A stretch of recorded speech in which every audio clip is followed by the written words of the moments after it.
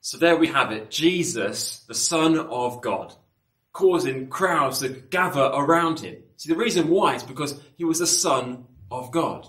And because he was the Son of God, he was performing miracles, changing and transforming lives there and then. He was the modern day celebrity. People would be gathering around him, wanting to see more of him, wanting just to get a touch of his clothes even. And so Jesus often liked to revert to try to get some solace and some quiet and some solitude.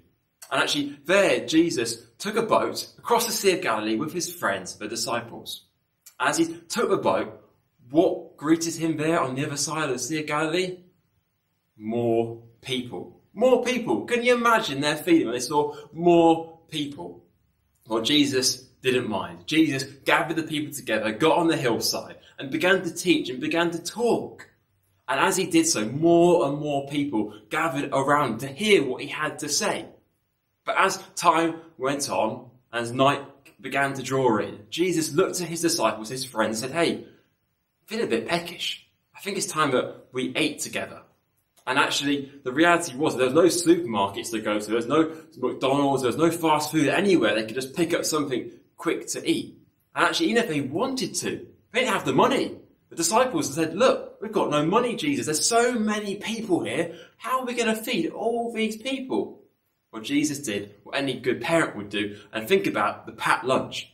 So he called out, has anyone brought anything? Thankfully, there was a little boy who had brought his packed lunch. He had five loaves and two fishes. Five loaves and two fishes. Can you imagine their face when they saw this small amount of food and the 5,000 plus people they had to feed? The panic must have set in straight there. Now, Jesus was calm as a cucumber, so no worries. He blessed the food and told his disciples, look, give it out. Give it out.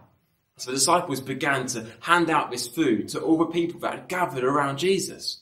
And as they did so, people began to be fed. More people began to be fed, and more, and more, and more, and more. And all of a sudden, everyone had been fed. Not just a little bit, but they were absolutely full. So, the disciples did what any good host would do. They began to clear up all the mess that they had left. And can you imagine how many baskets they had afterwards? They had not one, not two, not three, not four, not five, not six, not seven, not eight, not nine, not ten, not eleven, but twelve baskets full of food.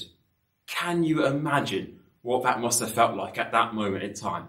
Jesus had literally taken something that was so ordinary and did something extraordinary. You see, the thing is, God is in the business of taking something that is ordinary and making it extraordinary. That's the amazing thing. Actually, God is continuing to do that with the bicycle. It might seem really ordinary to you and me. Often it can seem a bit of a, a tool of transportation, isn't it? A leisure thing. But actually, the bicycle is a tool for transformation. Just for people just like Naola. You see, for her, the bicycle is not just transportation to her. It's a tool of transformation because she can now get to school and be able to have the education that she needs to become the nurse that she wants to be when she's older. That's the potential that she has within her. And actually, the bicycle enables that to happen. And actually, there's so many other people just like now that actually if they can begin to have this tool of transformation in their life, something that might seem really ordinary to us, but God can make it extraordinary and set them on a new path in their life to come. And we can help break the cycle of poverty. So I want to encourage you, join us here now at the All We Can movement as we look to break the cycle of poverty.